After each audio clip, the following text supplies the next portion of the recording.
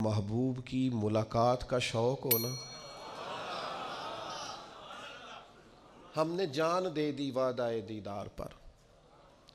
ہم سے وعدہ کیا گیا تھا کہ تم مرو گے نا تو تمہیں دیدار ملے گا۔ تو ہم نے جان ہی دے دی وعدہ دیدار پر۔ جان ہی دے دی وعدہ دیدار پر۔ اور پھر فرماتے ہیں، نقد اپنا دام ہو ہی جائے گا۔ فرماتے ہیں، ہم نے جان دی ہے اس وعدے پر کہ وہ ملے گا، تو امید ہے کہ یہ سودا ادھار نہیں۔ جیسے ہی قبر میں جائیں گے، سامنے حضور کی زیارت نصیب ہو جائے۔ گی اس لیے لحد میں بھی عشق رخ شاہ کا داغ لے کے چلے۔ اندھیری رات سنی تھی، سو چراغ لے کے چلے۔ یہ حدیث آپ نے بھولنی نہیں۔ یہ تنہائیوں میں یاد رکھنے کی روایت ہے۔ یہ تنہائیوں میں پڑھنے کی روایت ہے۔ یہ اپنے ذوق کو تازہ جو لوگ کہتے ہیں نا، وجد، سرور، کیف میں جانا چاہتا ہوں۔ وہ مشکا شریف کی اس حدیث کو دیکھے، اللہ کے حبیب علیہ السلام نے فرمایا، لوگوں میں تمہیں بتاؤں، قیامت کے دن اللہ تعالیٰ بندوں سے پہلا سوال کیا فرمائیں گے؟ اور بندے اس کا جواب کیا دیں گے؟ یا رسول اللہ، کرم فرمائیے، بتائیے۔ تو کریم فرمانے لگے، اللہ تعالیٰ، قیامت کے دن بندوں سے سب سے پہلا سوال، اگرچہ بعض اور احادیث میں اور سوالات بھی آئے ہیں قیامت میں جو سب سے پہلے ہوں گے۔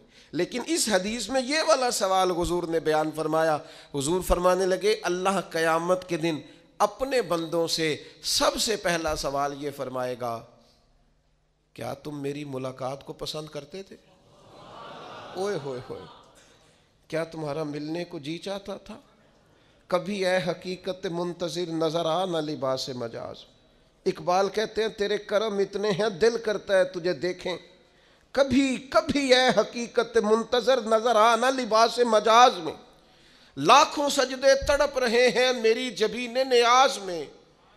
تمہارا دل کرتا تھا مجھ سے ملنے کو۔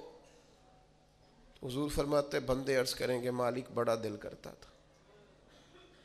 تو پھر اللہ فرمائیں گے، یہ گفتگو کی مانویت تو دیکھو یار، اس کا حسن تو دیکھو۔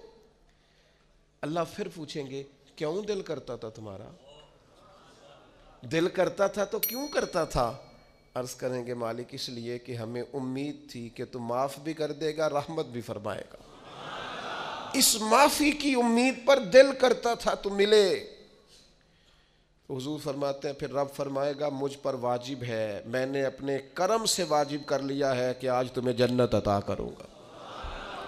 یہ جو ملاقات ہے نا، ملاقات کہ وہ ملیں گے، ان سے ملاقات ہوگی۔ عمر بیت گئی نا، نام جپتے۔ عمر بیت گئی نا، تذکرہ کرتے۔ ہم سے بھی لوگ پوچھتے ہیں، کیا کمائی کی؟ کیا زندگی میں حاصل کیا؟ تو ہم کہتے ہیں شرق سے غرب تک، ملک کے کونے سے لے کر دوسرے کونے تک مدینے والے کی بات کی ہے۔ حضور کا ذکر کیا ہے۔ نبی پاک کے اور میں اپنی حیاتی تو قربان تھی وہاں، ساری محمد محمد پکیندے گزر گئی۔ ساری۔ یہ اعزاز ہے، یہ کرم ہے۔ اب کیا ہوتا ہے گناہ گار لوگ اتنا بڑا دعویٰ تو نہیں کر سکتے، لیکن دل تو چاہتا ہے نا کہ چلو جس کا نام لیا ہے، اس کی کبھی زیارت بھی ہو۔ کبھی ملاقات بھی ہو، کبھی نظر کرم بھی ہو، کسی نے کسی نے اپنے محبوب سے کہا تھا کہ ذرا ایک نظر مجھ پہ بھی کیجیے۔ تو قریب بیٹھے ایک شخص نے کہا، یار، تو نے بڑا دعویٰ کیا ہے، جو محبوب ہوتے ہیں ان کو تکلیف نہیں دی جاتی۔ تو کہتا ہے، پورا چہرہ ہی تیری طرف پھیرے۔ تو پھر اس نے اس درویش سے پوچھا کہ میں بھلا پھر کیا کروں؟ میرا دل تو میرا بھی کرتا ہے نا۔ چلو یہ تو آپ کی بات ٹھیک ہے کہ اب میں محبوب سے کہوں کہ اتنی تکلیف کرے کہ میری طرف پورا رخ پھیرے تو ٹھیک نہیں۔ تو پھر بتائیں میں کیا کروں؟ تو اس نے کہا، ان راہوں میں کھڑا ہو جا جن راہوں کی طرف وہ کریم دیکھتا ہے۔ چلو اسی با کردار کو دیکھتے دیکھتے بیچ میں تیرے اوپر بھی نظر، مجھ پہ محشر میں نصیر ان کی نظر پڑ ہی گئی۔ مجھ پہ محشر میں نصیر ان کی نظر اوئے ہوئے، اللہ کرے آپ کو بھی وہ لطف آئے جو مجھے آ رہا۔ کہتے مجھ پہ محشر میں نصیر ان کی نظر، یہ انتہائی آجزی ہے کہنے والے کی۔ اس نے بالکل اپنے آپ کو ختم کر کے کہا کہ میں قابل تو نہیں تھا اور میں پھر تکلیف دیتا کہ میری طرف دیکھیں اسپیشل میرے لیے وقت نکالے۔ پر کرم یہ ہوا کہ مجھ پہ محشر میں نصیر ان کی نظر پڑ ہی گئی۔ کہنے والے اسے کہتے ہیں خدا کا کرنا۔ کہنے والے اسے کہتے ہیں خدا کا کرنا۔ اللہ نے کیا کہ نظر مجھ پر پڑ ہی گئی اور جب پھر پڑ گئی تو تیری ایک نظر کا کمال ہے اور میری زندگی کا سوال ہے۔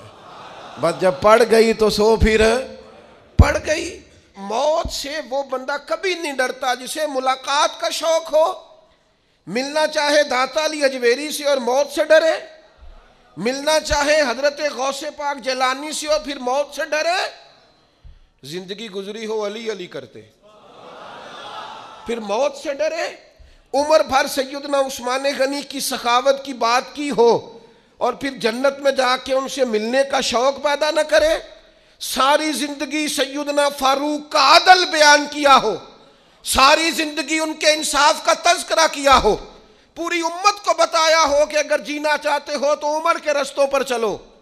اور پھر یہ موت سے ڈرے اور مر کے جناب فاروق اعظم کی زیارت کو پسند نہ کرے، جسے صدیق کی وفائیں یاد ہو جنہیں جناب ابو بکر صدیق کا عشق یاد ہو، وہ پھر ان کی زیارت نہ کرنا چاہے۔ اور ساری عمر حضور کی نعت پڑی ہو۔ مانا نہیں آتا تھا، پھر بھی کہا، بلغ الغلاب کمال ہی کشفت دجا بے جمال ہی حسنت جمیع خصال صلو علیہ۔ والہی سے نہیں ترجمہ آتا تھا، پر جب بھی کو پڑھتا تھا، یہ بھی جھومتا تھا، مولا یا صلی وسلم دائمن او میرے عزیز، یاد رکھو، ساری زندگی حضور کی نعتیں پڑھی، نبی پاک کے تذکرے سنیں اب موت سے ڈر جائیں۔ حالانکہ موت تو ایک پل ہے۔ پل سے گزریں گے تو سامنے اللہ کا دیدار بھی ہوگا، مدینے والے کی زیارت بھی نصیب ہو۔ تو تو زیارت ہوگی اور ہر نظر کہاں پٹھے گی۔ محشر کے دن خوف سے ہر کلیجہ دہل جائے گا۔ اوڑ کر کالا جبہ وہ آ جائیں گے۔ اور سارے محشر کا نقشہ بدل جائے گا۔